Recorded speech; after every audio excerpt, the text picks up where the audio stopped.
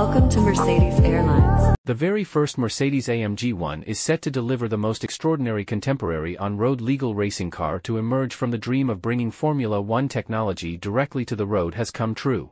With an acceleration of 0 to 200 km in 7.0 seconds maximum speed of 352 km. A 1.6-liter V6 turbo petrol engine and four electric motors for the turbocharger, crankshaft and front axle act together to deliver an impressive 1,063 horsepower. The powerful directly cooled 800-volt battery powerful engine and newly developed automated 7-speed manual transmission with its 4-disc carbon racing clutch maximum speed of the combustion engine of 11,000 RPM innovative multi-link aluminium chassis with transverse push rod suspension struts. AMG 1 can already hear beforehand that true Formula 1 technology is approaching. Goosebumps guaranteed for drivers, pedestrians, and fans. Please do subscribe. Please do subscribe.